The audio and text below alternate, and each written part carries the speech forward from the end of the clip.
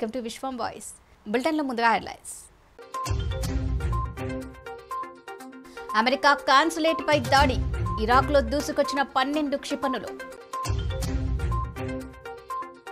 Ukraine వైద్య విద్యార్థుల భవితవ్యంపై సుప్రీంకోర్టులో పిల్. భారతదేశంలో తమ చదువును కొనసాగించేందుకు అవకాశం కల్పించాలని వినతి. మద్యం షాపును ధ్వంసం చేసిన కేంద్ర మాజీ మంత్రి ఉమాభారతి. షాపులో ఉన్న సీసాలపైకి రాయి విసిరి లిక్కర్ నిషేధంపై ఆగ్రహం. నలభై ఏళ్ళ రికార్డు బద్దలు. రెండో రోజు శ్రీలంకపై టీమిండియా జట్టు తిరుగులేని ఆధిక్యం. ఇక డీటెయిల్స్లోకి వెళ్తే. అమెరికా దౌత్య కార్యాలయం లక్ష్యంగా ఇరాక్లోకి పన్నెండు క్షిపణులు దూసుకొచ్చాయి. కుర్దిస్తాన్ ప్రాంతంలోని అర్బిల్ నగరంపై ఆదివారం తెల్లవారుజామున ఈ క్షిపణి దాడులు జరిగాయి. తూర్పు వైపు సరిహద్దు అవతలి నుంచి ఈ క్షిపణులు రావడంతో పొరుగు దేశం ఇరాన్ పనేనని స్థానిక అధికారులు అనుమానాలు వ్యక్తం చేస్తున్నారు. ఖచ్చితంగా తూర్పు వైపు నుంచే వచ్చాయని కుర్దిస్తాన్ ఉగ్రవాద నిరోధక దళం తెలిపింది. ఇరాక్లో రాకెట్ డ్రోన్ దాడులు తమ లక్ష్యంగానే జరుగుతున్నాయని తరచుగా అమెరికా ఆరోపిస్తోంది. ఇరాక్ నుంచి అమెరికా బలగాల ఉపసంహరణ కొనసాగుతోంది. మిగిలిన దళాలను కూడా ఉపసంహరించాలని ఇరాన్ అనుకూల గ్రూపులు డిమాండ్ చేస్తున్నాయి.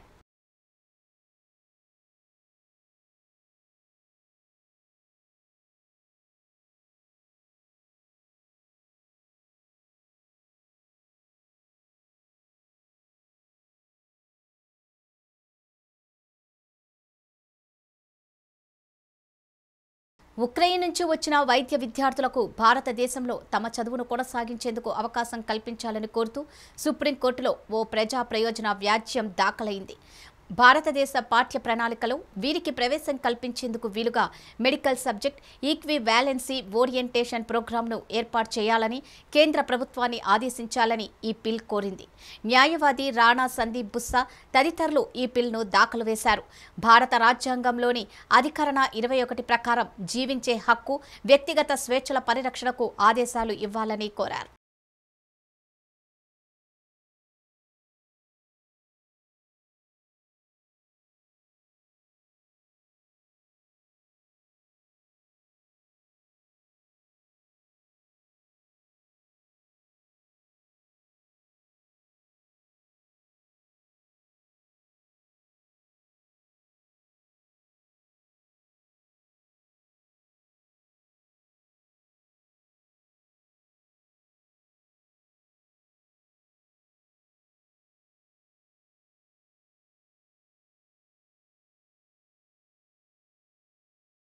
మధ్యప్రదేశ్ రాజధాని భోపాల్లో ఉన్న ఒక లిక్కర్ షాప్కి వందలాది మంది మద్దతుదారులతో వచ్చిన కేంద్ర మాజీ మంత్రి ఉమాభారతి షాపులో ఉన్న సీసాలపైకి రాయి విసిరి లిక్కర్ నిషేధంపై తన ఆగ్రహాన్ని వ్యక్తం చేశారు.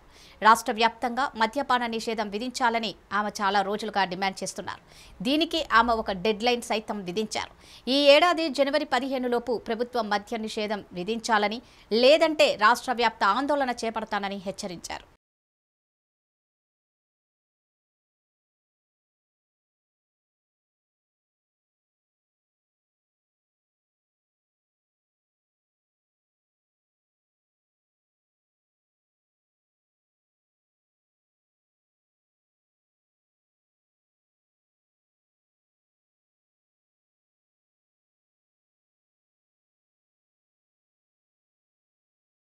శ్రీలంకతో జరుగుతున్న రెండో టెస్టులో భారత జట్టు పట్టు బిగించింది. రెండో రోజు శ్రీలంకపై టీమిండియా జట్టు తిరుగులేని ఆధిక్యాన్ని సాధించింది. పంత్ ధనాదన్ ఇన్నింగ్స్కు తోడుగా శ్రేయస్ నిలకడమైన ఆట తీరుతో భారత్కు భారీ ఆధిక్యం లభించింది. దీంతో భారత్ జట్టు నాలుగు వందల నలభై ఏడు పరుగుల టార్గెట్ను లంక ముందుకు ఉంచింది.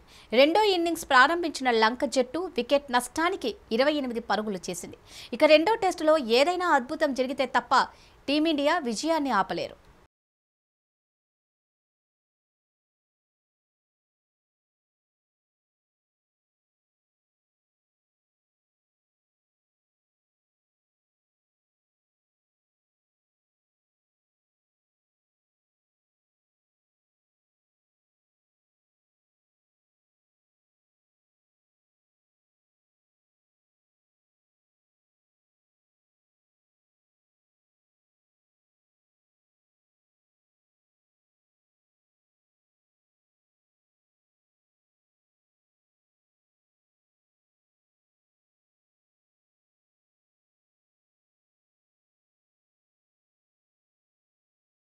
అనంతపురం జిల్లా వైఎస్ఆర్సీపీ పదకొండు వసంతాలు పూర్తి చేసుకుని పన్నెండవ సంవత్సరంలోకి అడుగు పెడుతున్న శుభ సందర్భంలో స్థానిక రెండవ రోడ్డులోని వైఎస్ఆర్సీపీ పార్టీ కార్యాలయంలో వైఎస్ఆర్సీపీ పార్టీ ఆవిర్భావోత్సవ వేడుకలు అట్టహాసంగా నిర్వహించారు.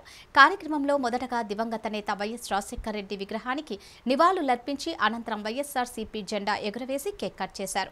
ఈ కార్యక్రమంలో రాష్ట్ర రోడ్లు మరియు భవనాల శాఖ మాత్యులు మాలగుండ్ల శంకర్ నారాయణ ప్రభుత్వ విప్ వెన్నపూస గోపాల్ రెడ్డి అనంతపురం జిల్లా ప్రజా పరిషత్ చైర్పర్సన్ బోయ గిరిజమ్మ అనంతపురం పార్లమెంటరీ సభ్యులు తలారి రంగయ్య హిందూపురం పార్లమెంటరీ సభ్యులు గోరంట్ల మాధవ్ అనంతపురం శాసనసభ్యులు Anantha Venkata Ramireddy ADCC chairperson Kumari Likhitha AP నాటక అకాడమీ చైర్పర్సన్ వై హరిత జిల్లా గ్రంథాలయ సంస్థ చైర్పర్సన్ ఎల్ ఉమామోహన్ రెడ్డి నగర పాలక సంస్థ డిప్యూటీ మేయర్లు ఒకటి Vijayabhaskar Reddy Vasanthi Sahithya market yard vice chairman Obul Reddy కార్పొరేటర్లు వైఎస్ఆర్సీపీ నాయకులు పెద్ద ఎత్తున పాల్గొన్నారు. మూడు రంగుల జెండా. వైఎస్ఆర్ కాంగ్రెస్ పార్టీ.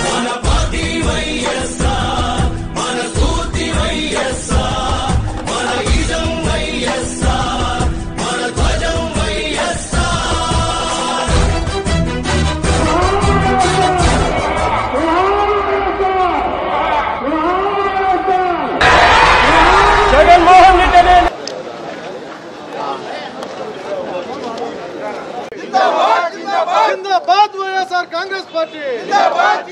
వర్ధిల్లాలి వైఎస్ జగన్మోహన్ గారి నాయకత్వం. వర్ధిల్లాలి వైఎస్ జగన్మోహన్ గారి నాయకత్వం. జై జగన్.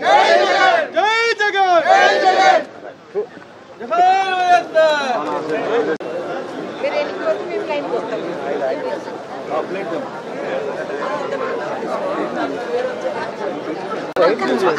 అక్క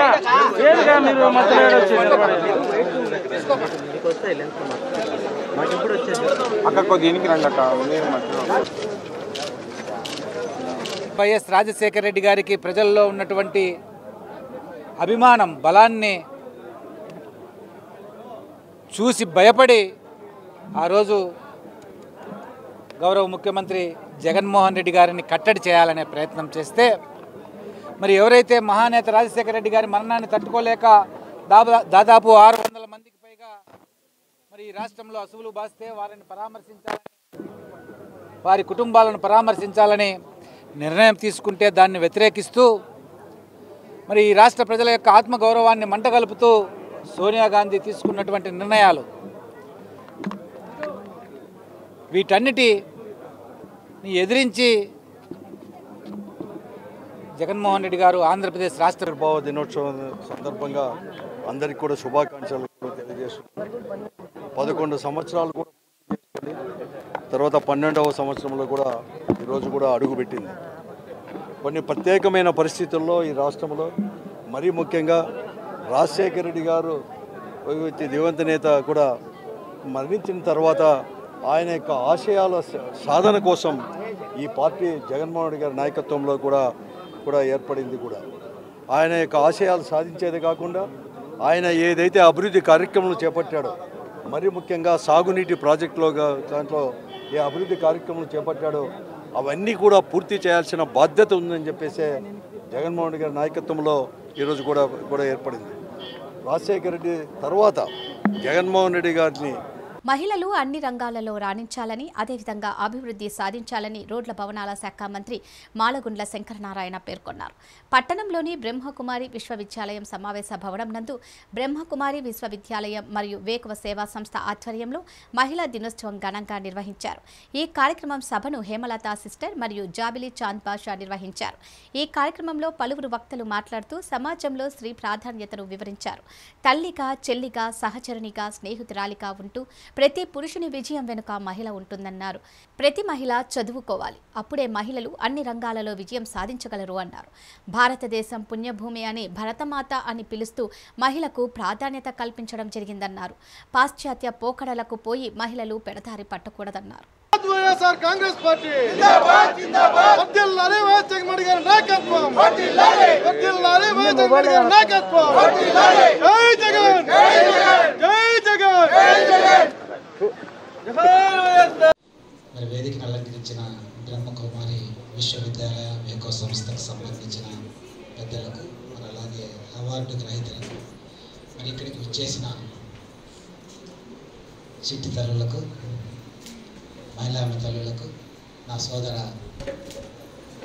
వైఎస్ఆర్ పార్టీ నాయకులకు కార్యకర్తలకు మీడియా సోదరులకు మరి ముఖ్యంగా నన్ను ఈరోజు ఎప్పుడో సనాత కా- సనాతన కాలంలో ముందు కాలంలో మహిళలను చదువుకు దూరంగా సభ్య సమాజంలో కార్యక్రమాలకు దూరంగా కేవలం పరదాల చాటున బతికేలాగా ఆ రోజుల్లో వందల సంవత్సరాల క్రితం ఒక ఆచార వ్యవహారాలు ఉండేవి. మరి ఆ రోజుల్లో ఈరోజు ఇంత గౌరవం ఇచ్చి నన్ను సత్కరించినందుకు చాలా ధన్యవాదాలు. నిజానికి నాకు ఇంత గౌరవం ఇంత సత్కారం తీసుకునే స్థాయిలో ఉన్నానా లేదో కూడా నాకు తెలియదు అనంతపురం జిల్లా ఎస్పీ డాక్టర్ ఫకీరప్ప కాగినెల్లి ఆదేశాల మేరకు కొడికొండ చెక్పోస్ట్ దగ్గర సబ్ అధికారులు తనిఖీ చేస్తుండగా అక్రమంగా గుట్కా పదార్థాలు రవాణా చేస్తున్న ఐచర్ వాహనాన్ని పట్టుకున్నారు. ఈ తనిఖీలో ఇద్దరిని అరెస్ట్ చేసి పంతొమ్మిది లక్షల ముప్పై ఏడు వేల మూడు వందల తొంభై ఆరు రూపాయల విలువ చేసే గుట్కా పదార్థాలు స్వాధీనం చేసుకున్నారు.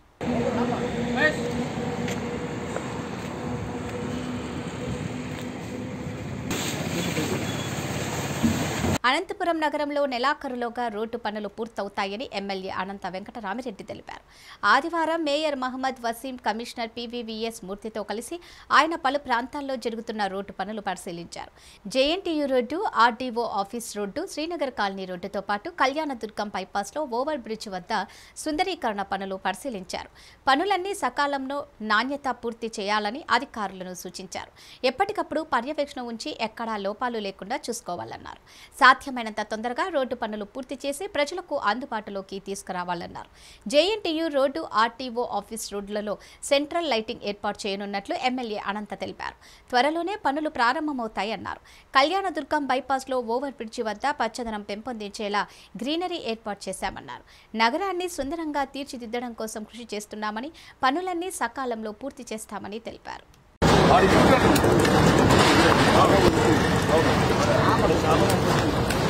ఎక్కడగా నేను ఎందుకంటే డౌన్ ఇది ఆడిపోయి పోవాలి నేను సూపర్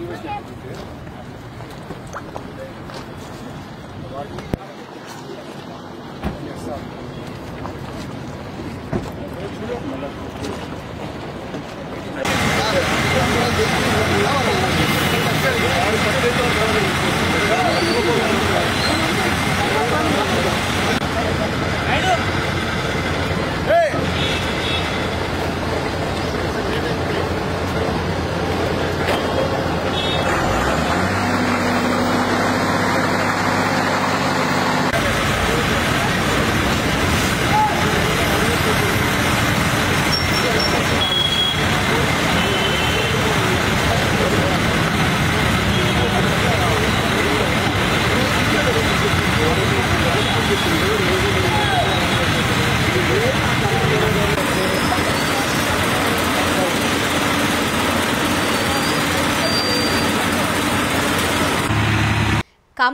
జిల్లా సదాశివనగర్ మండలంలోని స్ప్రింగ్ ఫీల్డ్ హై స్కూల్ సమీపంలో గాంధారి రోడ్డుపై సదాశివనగర్ పోలీసులు వాహనాల తనిఖీ చేపట్టారు. స్పెషల్ డ్రైవ్లో భాగంగా డ్రంక్ అండ్ డ్రైవ్తో పాటు హెల్మెట్ లేకుండా వాహనాలు నడుపుతున్న వారికి జరిమానాలు విధించారు. ఇప్పటి వరకు జరిమానాలు విధించి ఉన్నవారు పెండింగ్ చలానా ఆన్లైన్లో చెల్లించాలని సూచించారు. ఈ నెల ముప్పై వరకు పెండింగ్లో ఉన్న చలాన్లు చెల్లించాలని వాహనదారులకు సూచించారు. హెల్మెట్ లేకుండా వాహనాలు నడిపిన జరిమానాలు తప్పవని హెచ్చరించారు. ఈ కార్యక్రమంలో సదాశివనగర్ పోలీసులు తదితరులు పాల్గొన్నారు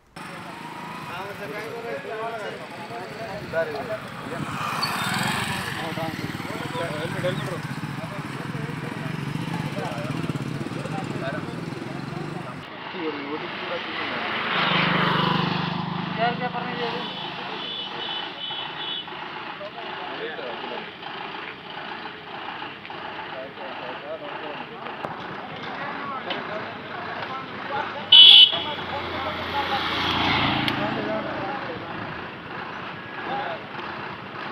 యువజన శ్రామిక రైతు వైఎస్ఆర్ పార్టీ ఆవిర్భవించి నేటికి పన్నెండు సంవత్సరాలు పూర్తి చేసుకోవడం జరిగిందని వైఎస్ఆర్ పార్టీ రాష్ట్ర దివ్యాంగుల నాయకుడు చెర్లోపల్లి రెడ్డప్ప తెలిపారు. ఈ సందర్భంగా ఆయన మాట్లాడుతూ ఆనాడు ఇతర పార్టీల నిరంకుశత్వాన్ని ఎదిరించి పోరాడి ఒక ఎంపీ ఒక ఎమ్మెల్యేతో మొదలై నేడు నూట యాభై ఒక్క ఎమ్మెల్యేలు ఇరవై మూడు మంది ఎంపీలతో జగనన్న నాయకత్వంలో ప్రభుత్వాన్ని ఏర్పాటు చేసి సంక్షేమ ఫలాలు ప్రతి కుటుంబానికి అందజేసి పాలన అంటే ఒక కులానికో లేక ఒక వర్గానికి కాదని అందరికీ సమానంగా పూర్తి పరిపాలన సాగిస్తూ మూడు సంవత్సరాలలో ముప్పై సంవత్సరాల ప్రగతిని సాధించిందని పేర్కొన్నారు. ఈ ప్రభుత్వంలో వికలాంగులకు మూడు వేల పెన్షన్ స్కీమ్లు స్కూటర్లు మొదలైన సంక్షేమ పథకాలను అందించడం జరుగుతున్నదని అన్నారు. వైఎస్ఆర్సీపీ నాయకులకు కార్యకర్తలకు రాష్ట్ర ప్రజలకు ఎమ్మెల్యేలకు ఎంపీలకు ధన్యవాదాలు తెలిపారు. వైఎస్ఆర్ కాంగ్రెస్ పార్టీ ఆవిర్భవించి నేటికి పన్నెండు సంవత్సరాలు పూర్తి చేసుకు పూర్తి చేసుకునింది. నాడు ఇతర పార్టీలతో నిరంకుశ నిరంకుశత్వాన్ని ఎదిరించి పోరాడి ఒక ఎంపీ ఒక ఎమ్మెల్యేతో మొదలై నేడు నూట యాభై ఒకటి ఎమ్మెల్యేలు మరియు ఇరవై మూడు మంది ఎంపీలతో మన జగనన్న రాష్ట్ర ప్రభుత్వాన్ని ఏర్పాటు చేయడం జరిగింది. మన ఈ ప్రభుత్వం అందరికీ సంక్షేమ పథకాలు అందాలని ప్రతి కుటుంబానికి ప్రతి కుటుంబానికి ప్రతి ఒక్కరికి సంక్షేమ పథకాలు అందాలని మరియు ఒక వర్గానికి ఒక కులానికి ఒక మతానికి కాదు అందరికీ సమాన పాలన అందించాలనే ఆశయంతో అడిగేసిన జగనన్న ఈరోజు ప్రతి ఇంటికి తూర్పుగోదావరి జిల్లా కొత్తపేట నియోజకవర్గం కొత్తపేట గ్రామంలో బీసీ హక్కుల సాధన సమితి అధ్యక్షుడు బొక్కా ప్రసాద్ ఆధ్వర్యంలో బీసీ హక్కుల సాధన సమితి సమావేశం జరిగింది. ఈ కార్యక్రమానికి ముఖ్య అతిథిగా రాష్ట్ర బీసీ హక్కుల సాధన సమితి అధ్యక్షుడు పెద్దింశెట్టి వెంకటేశ్వరరావు పాల్గొన్నారు. రేపు నెల ఆరవ తేదీ తలపెట్టిన హలో బీసీ చలో కాకినాడ కార్యక్రమాన్ని జయప్రదం చేయాలని కొత్తపేట నియోజకవర్గ బీసీ హక్కుల సాధన సమితిని కోరుతూ వారి ఆధ్వర్యంలో హలో బీసీ చలో కాకినాడ కార్యక్రమం యొక్క పాంప్లెట్ను బీసీ హక్కుల సాధన సమితి రాష్ట్ర అధ్యక్షులు పెద్దంశెట్టి వెంకటేశ్వరరావు ఆవిష్కరించారు. త్వరలో కాకినాడలో వచ్చే నెల తారీఖు జరగబోయే బీసీల శాంతియుత ర్యాలీకి గౌడ చెట్టుబలిజ శ్రీశైల యాదవ్ వీడియో కులాలపై ఉన్న కేసులు కూడా తీసేయాలని రాష్ట్ర ముఖ్యమంత్రి వైఎస్ జగన్మోహన్ రెడ్డి గారు ఆయన కాపు సోదరుల మీద తొలి సంఘటనలో జరిగిన కేసులన్నీ కూడా ఏ జీవో అయితే సృష్టి తీసేశారో అదే జీవోని మా బీసీల మీద గీత కు- ఉపకులాలైన గౌడ చెట్టుబలిజ శ్రీశైన యాత కులాల పైన ఉన్న మా కులవృత్తి అయిన వేల సంవత్సరాల కిందట కళ్ళు గీసుకుని జీవనం సాధించేవారు. మిగిలిన రోజుల్లో సారా అమ్ముకుని జీవనం సాగించేవారు. ఈ ప్రభుత్వాలు వచ్చినాక సారా తీసుకుని బ్రాండీ షాపుని పేరు పెట్టి చిన్న చిన్న వ్యాపారాలు కూడా చేసుకోలేని స్థితిలో ఇవాళ గీత కార్మికులు చెట్టు పనిజ అన్ని కులాలు కూడా ఉన్న కులాలకు దిక్కులేని పరిస్థితుల్లో సారా అమ్ముకుంటే వాళ్ళ మీద కేసులు కట్టేశారు. సరే ప్రభుత్వానికి వ్యతిరేకంగా మేము చేయకూడదు కాబట్టి కాపు సోదరుల మీద పెట్టిన కేసులు ఏ ఏ జీవోతోటి అయితే తీసేశారో అదే జీవోతోటి కూడా మాపై ఉన్న కేసులు కూడా తీసేయాలని ఆరో తారీఖున పెట్టిన మీటింగ్కి కొత్తపేట నియోజకవర్గం నుంచి భారీ ఎత్తులో జన సమీకరణ చేసి ఆ రోజు జరుపు కార్యక్రమానికి శాంతియుతంగా రావడానికి తూర్పుగోదావరి జిల్లా సామర్లకోట ఉండూరు రైల్వే గేట్ వద్ద జరిగిన భీమేశ్వర రాష్ట్ర స్థాయి ఎద్దు పరుగు ప్రదర్శన పోటీలలో సీనియర్స్ విభాగం నుండి సామర్లకోట గున్నం అనురాధకు చెందిన ఎద్దులు ప్రథమ బహుమతి జి మేడపాడు మల్లిరెడ్డి వీరేంద్రనాథ్కు చెందిన ఎద్దులు ద్వితీయ బహుమతి జి మేడపాడు మల్లిరెడ్డి అన్నపూర్ణకు చెందిన ఎద్దులు తృతీయ బహుమతిని పొందారు. అలాగే జూనియర్ విభాగంలో మండపేటకి చెందిన వేగుళ్ళ తేజ్బాబు ఎడ్ల జోడి ప్రథమ బహుమతి వేగుళ్ళ రామస్వామి ఎడ్ల జోడి ద్వితీయ బహుమతి వెల్దుర్తికి చెందిన మొగలి యేసుబాబు ఎడ్ల జోడి తృతీయ బహుమతి మేడపాడుకి చెందిన మల్లారెడ్డి అన్నపూర్ణ ఎద్దుల జోడి నాలుగో బహుమతి సామర్లకోటకు చెందిన గుణం అనురాధ ఎద్దుల జోడి ఐదో బహుమతి కైవసం చేసుకున్నాయి Hey!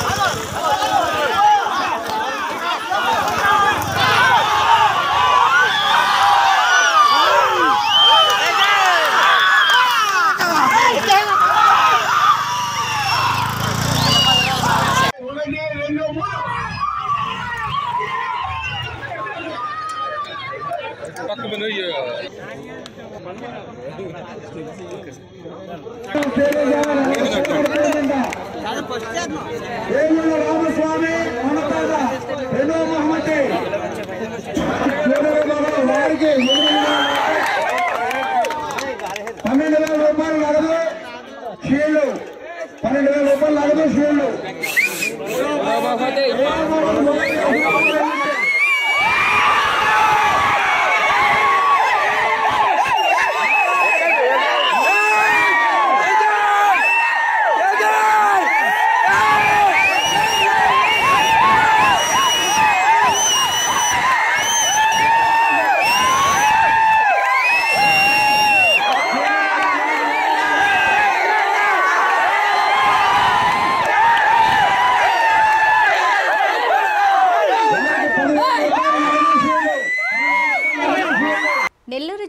జిల్లా నాయుడుపేటలోని వైఎస్ఆర్సీపీ పార్టీ ఆవిర్భావ దినోత్సవ సందర్భంగా పలు కార్యక్రమాల్లో శాసనసభ్యులు కిలివేటి సంజీవయ్య పాల్గొన్నారు.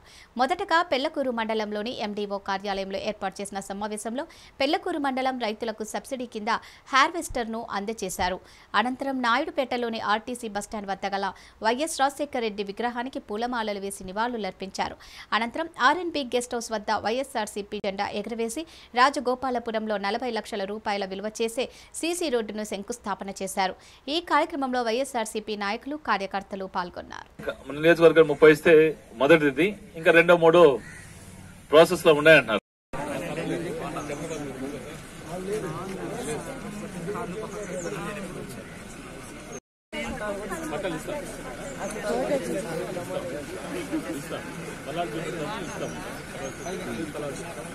అది కూడా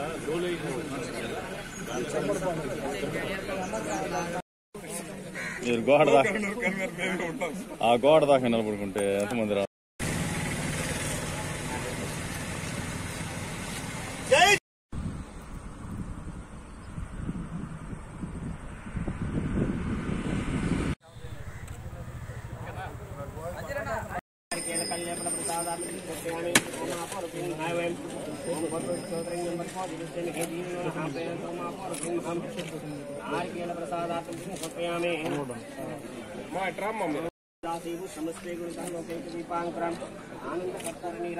కొల్లాపూర్లో మన ఊరు మనపూరు బహిరంగ సభలో పాల్గొన్న పీసీసీ అధ్యక్షుడు రేవంత్ రెడ్డి మాట్లాడుతూ ఎంఆర్పీఎస్ మందకృష్ణ మాదిగా ఇరవై ఐదేండ్ల నుంచి ఉద్యమం చేస్తుంటే ఏబీసీడీ వర్గీకరణ కావాలని దాని గురించి కేసీఆర్ ప్రభుత్వం కేంద్రంలో మోడీ మాట్లాడటం లేదని అన్నారు.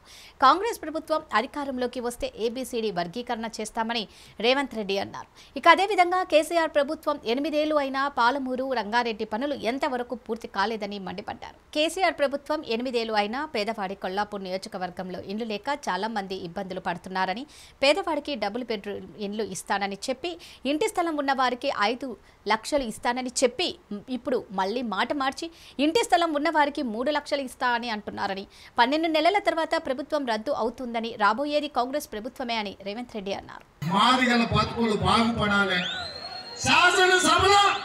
వర్గీకరణ కోసం తీర్మానం చేసి ఢిల్లీకి పోయి మోడీ మెడల్ వచ్చి వర్గీకరణ సాధిస్తున్నాడు. కానీ వర్గీకరణ సాధించలేదు. మా బిడ్డల అమాయకులు ఆడ గువ్వలోని ఈ అలంపూర్ల అబ్రహాన్ని ఆయన పోతుకంటి రాములు రెండు ఎమ్మెల్యేలు ఓ ఎంపీ మాదిగ బిడ్డల్ని నమ్మి గెలిపించారు. నేను అడుగుతున్న నా మాదిగ సోదరుల్ని మీ నమ్మకాన్ని ఒమ్ము చేసిన కేసీఆర్కు మీరు గూటం దెబ్బ కొడతారా లేదా అని చెప్పి మా మాదిగ బిడ్డలు అడుగుతున్నా శాసనసభలో ఏబిసిడి వర్గీకరణ మీద చర్చ వచ్చినప్పుడు శాసనసభలో ముగ్గురు ఎమ్మెల్యేలను సస్పెండ్ చేస్తే కేసీఆర్ వర్గీకరణ చేసే ఉద్దేశమే ఉంటే మోడీ మొయ్యను వచ్చి మా మార్గ సోదరులను ఆదుకునే ఆలోచనే ఉంటే ఎనిమిది ఏళ్ళు ఎందుకు మోడీ మోచేతి నీళ్ళు తాగి బతుకుతున్నాడు అని చెప్పి నేను ఈ కేసీఆర్ అడుగుతున్నా.